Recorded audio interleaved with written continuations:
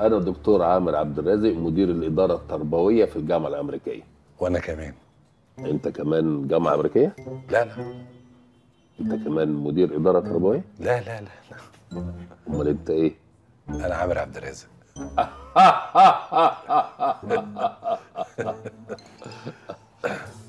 هو اليوم باين من أوله. اتفضل يا مستر لطفي اتفضل.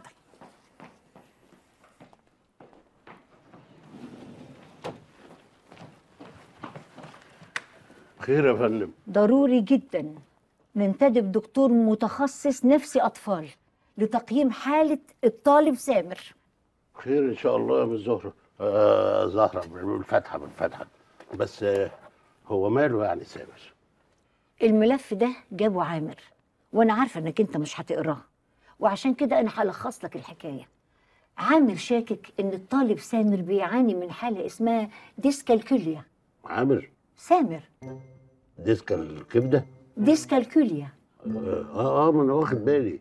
بس دي إيه إن شاء الله يعني؟ آه فوبيا يعني؟ فوبيا إيه؟ دي حالة بتحصل في صعوبة تعلم العمليات الحسابية وليها أنواع مختلفة. باختصار عايزين نعرض سامر على دكتور. عامر. سامر. آه. أنا قصدي يعني هو عامر اللي عمل التقرير ده؟ أمال أنا بقول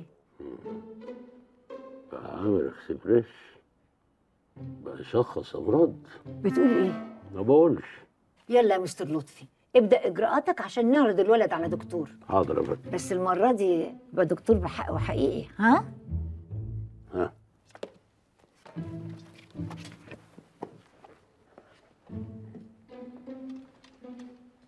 اكسبريس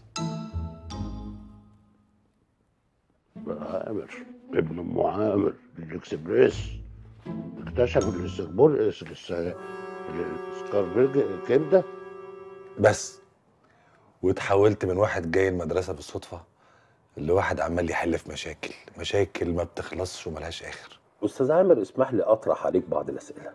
طبعا اتفضل يا دكتور. هتحل المشاكل دي كلها إزاي؟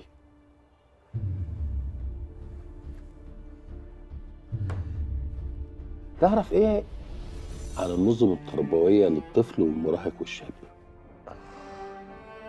سمعت عن عقدة أوديب؟ إلكترا؟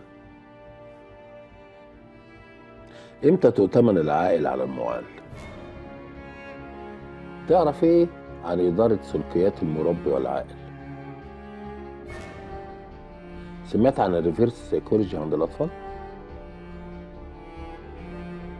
أنا منتظر ردك ما أعرفش حاجة من دي. بس ممكن أقول لك أنا أعرف إيه.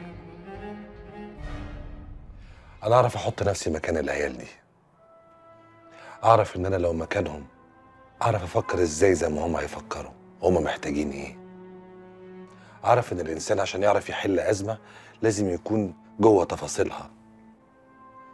لأن اللي بيحصل في الحقيقة حاجة يا دكتور واللي بتقوله النظريات العلمية ساعات كتير قوي بيكون حاجة تانية خالص. يعني بالبلدي كده يا دكتور. بالبلدي؟ بالبلدي آه. لا مؤاخذة اللي واقف فوق السطوح بيتفرج على الناس مش زي اللي عايش وسطيهم. الحقيقة يا أستاذ عامر اللي أنت قلته فيه ميزة. ميزة مش موجودة عند كتير من الأكاديميين وأهل العلم. إنك تفكر نفس تفكير الطفل وتحط نفسك مكانه. بس للأسف أنت ينقصك العلم.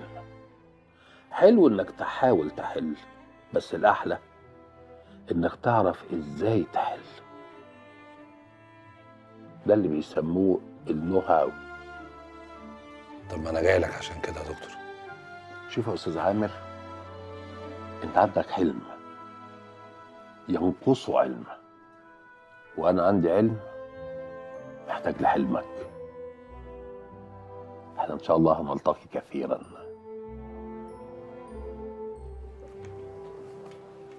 شكرا يا دكتور. العفو عليك أنا حزين.